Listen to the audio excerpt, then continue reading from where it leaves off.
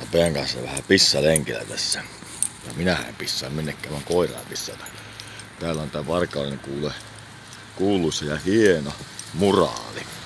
Ja tähän jotkut on arvostellut, että on ruma kuin synti, mutta mun mielestä näitä saisi ja pitäisi olla enemmän täällä Varkaudessa tämmöisiä muraaleja.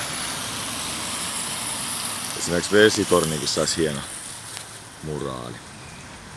Siellä on kaikenmoisia eläimiä ja semmoisia. Pitää joskus mennä ottaa noista yksityiskohdista enemmän videoa, mutta mä tykkään taiteesta ja sitä pitäisi olla tänne varkauteen lisää. Esimerkiksi tuollakin olisi hyvä toinen kerrostalo, minnekä saataisiin lisää tuommoista samanlaista maalausta. Tai tää koko rakennus tässä. Kun jotkut osaa, niin antaisi tehdä vaan taidetta lisää.